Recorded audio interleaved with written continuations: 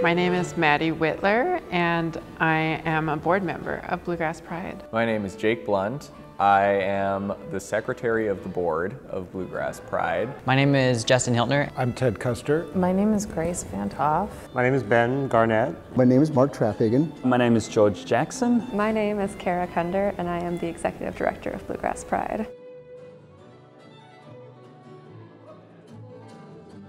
It means a lot to me as a queer person. It's like it gives me community within a bigger community where I haven't always felt included. I really have actually seen the tangible result of it, uh, making people feel more included. Bluegrass Pride means a lot, just knowing that you exist. It's hard for me to have a, even a conception about what bluegrass would be without that. It really has made me feel more, more comfortable with being more open um, with gender expression and sexuality within the realm of bluegrass. If I had been 17 and if I had been running around a bluegrass festival with a bunch of uh, uh, rainbow tulle and sequins and glitter, it would have meant the world to me. For me, I've noticed just the sea change of people talking about this issue. Bluegrass Pride helps bring an awareness that bluegrass is for everyone, as everything should be for everyone.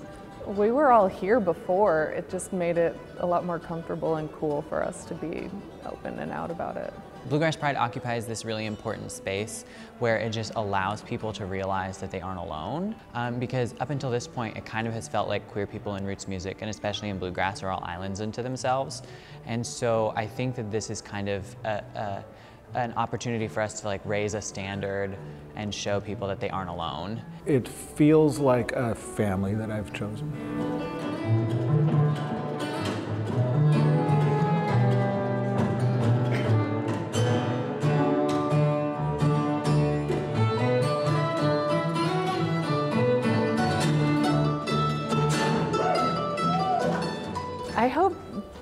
That for the future of Bluegrass Pride, the same as I hope for the future of bluegrass music, that people feel included and comfortable so they can just come and make good music and be good musicians. I'd like to see us, you know, potentially be a grant-making organization to help musicians make the art that's true to who they are uh, and know that they could have um, a successful career in bluegrass while also being honest about who they are.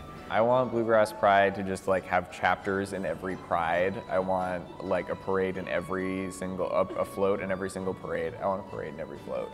Uh, that's we're, there are going to be so many of us. We're going to have our own parade within the parade. To just make it clear to everyone that bluegrass is for everyone and, and make it a welcoming environment for everyone.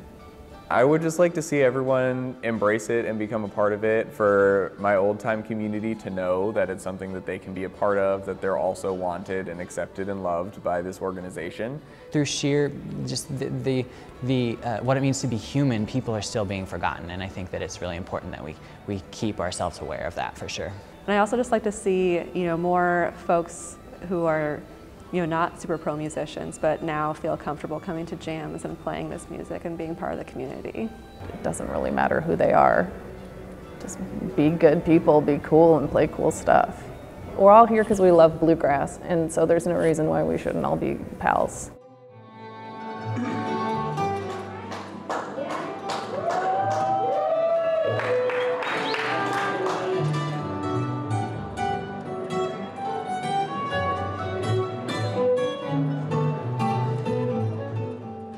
Love gays. Yeah.